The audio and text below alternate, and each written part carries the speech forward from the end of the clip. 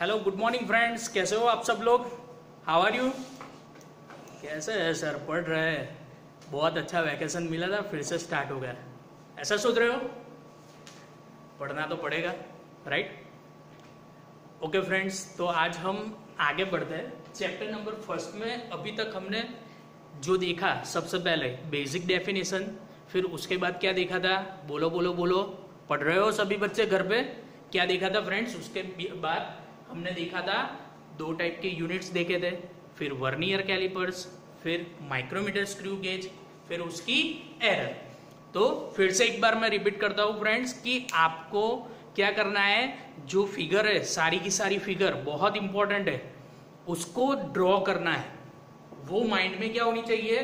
Fit क्योंकि चार marks में एक क्वेश्चन कंपलसरी आएगा ही आएगा आइधर वर्नियर की एरर का या तो माइक्रोमीटर की एरर का 110 परसेंट कोई भी पेपर देख लो आएगा ही आएगा ठीक है फ्रेंड्स ओके तो आज हम आगे बढ़ते हैं हमारे नए टॉपिक में राइट एरर्स त्रुटि એટલે કે ખામી व्हाट इज एरर अगर मैं आपको सिंपल एग्जांपल दूं तो आप सबको फ्रेंड्स पता है कि वाटर का बॉइलिंग टेम्परेचर कितना है यस यस यस कितना है 100 डिग्री सेल्सियस ठीक है वहां पे लिक्विड क्या हो जाती है इट स्टार्ट टू वेपराइज यानी वेपर में कन्वर्ट होने का धीरे धीरे स्टार्ट होती है सही बात है सभी को पता है फ्रेंड्स ओके તો આપણે એવું કહી શકીએ કે પાણી સો ડિગ્રી સેલ્સિયસે શું થાય છે ઉકળવાનું ચાલુ થાય છે તો वो मेरी क्या हुई एक्चुअल वैल्यू हुई वो मेरी क्या हुई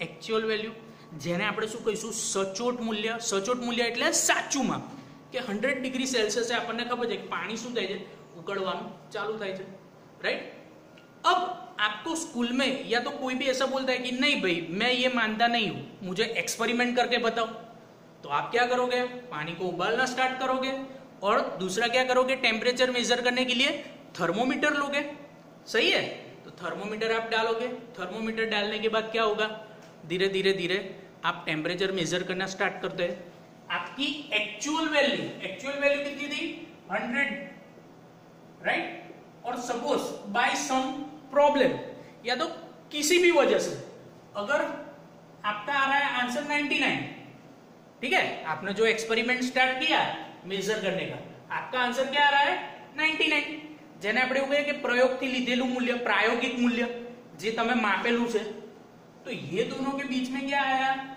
डिफरेंस तो अब मैं आपको ऐसा बोलू कि फ्रेंड्स एरर क्या है? तो आप मुझे क्या बोलोगे? सर, हमने जो मेज़रमेंट लिया था, यानी वन डिग्री सेल्सियस की मेरी क्या है? एरर है राइट पता चल गया? इन जनरल प्रैक्टिकल में। तो उसको हम क्या करते हैं? डेफिनेशन के टर्म में अब देखते हैं।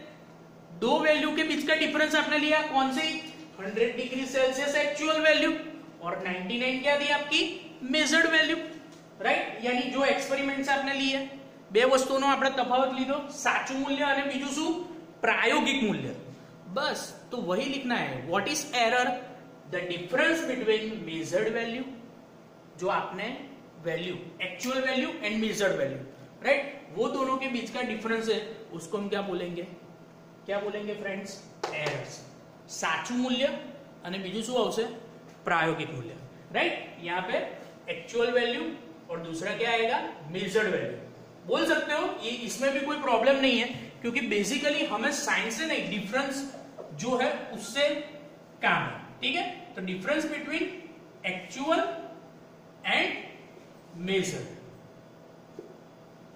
पता चल गया एरर्स फाइन अब दो टाइप की एरर होती है एक होती है सिस्टमेटिक एरर और दूसरी क्या होती है रेंडम एरर બે પ્રકારની હોય એક શું હોય व्यवस्थित त्रुटि અને બીજું શું હોય अव्यवस्थित त्रुटि। अब बोलोगे कि सर, ये क्या नया फंडा है? नो no प्रॉब्लम आज हम पार्ट बाय पार्ट देखते हैं। सबसे पहले हम सिस्टमेटिक एरर देखते हैं, ठीक है? फिर नेक्स्ट लेक्चर में हम पढ़ेंगे कि रैंडम एरर क्या है। सिस्टमेटिक एरर चलो। अब सिस्टमेटिक एरर बेसिकली उसके चार टाइप है।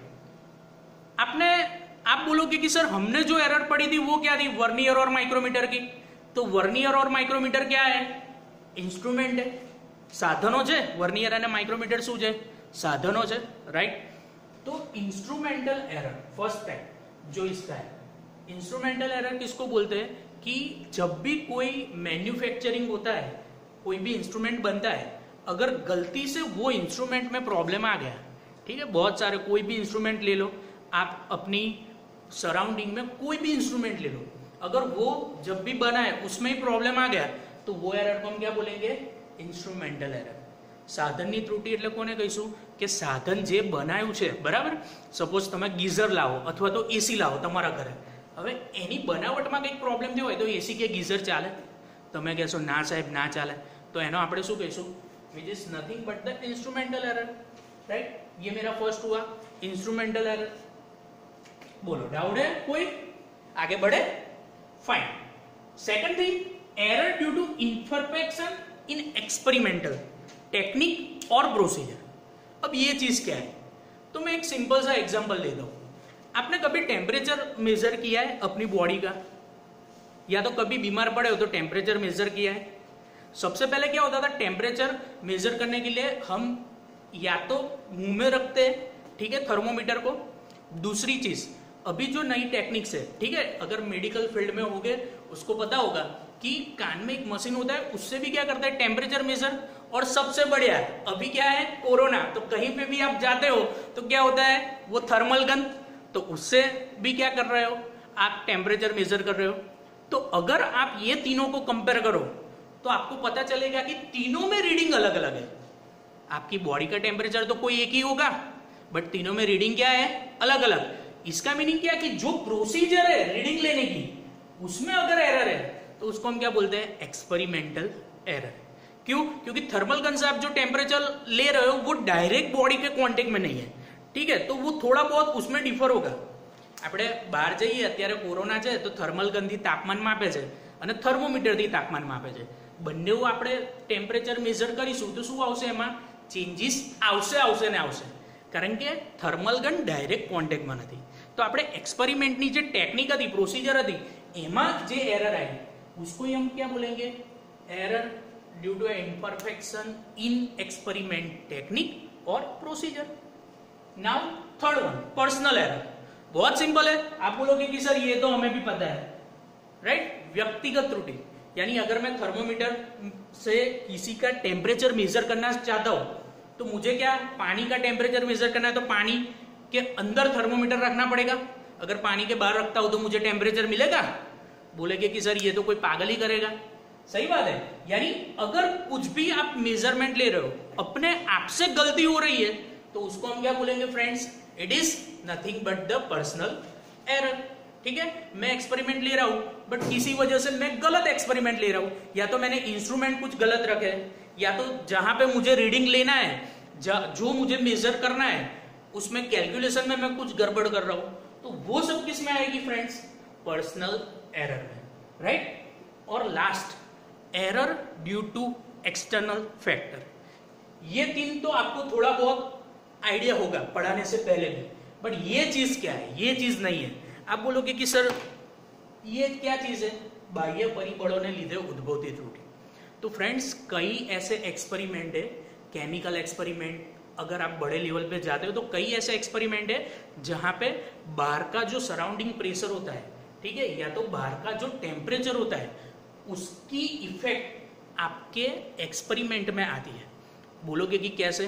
तो मुझे ये बताओ, मैं एक सिंपल सा एग्जांपल देता हूँ, बहुत ही सिंपल सा, कि हम अगर, आप सब लोग क्या करते हो? दिया करते हो।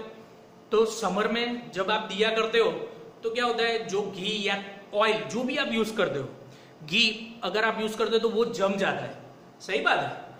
सॉरी समर में जमता नहीं है बट विंटर में अगर करोगे तो वो क्या होता है पूरा का पूरा फ्रीज हो जाता है ठीक है उसका मीनिंग क्या कि टेम्परेचर क्या कर रहा है वहां पे इफेक्ट कर रहा है तो ऐसे कई एक्सपेरिमेंट है जहां पे एक्सटर्नल फैक्टर जैसे कि टेम्परेचर प्रेशर वो रीडिंग पे क्या करते हैं इफेक्ट करते हैं तो उसको ही हम फ्रेंड्स क्या बोलेंगे error due to external factors right બાહ્ય પરિબળોને લીધે ઉદ્ભવતી ત્રુટિ કોને કહેવાય બહુ જ સિમ્પલ કે આપણે જે ઘીનું એક્ઝામ્પલ આપ્યું, બરાબર?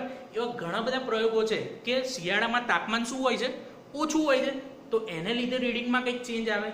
विस्कोसिटी का एक्सपेरिमेंट हम આગે करेंगे उसमें मैं ક્લિયરલી आपको दिखाऊंगा किस તરીકે से इफेक्ट आता है સ્નિગ્ધતા.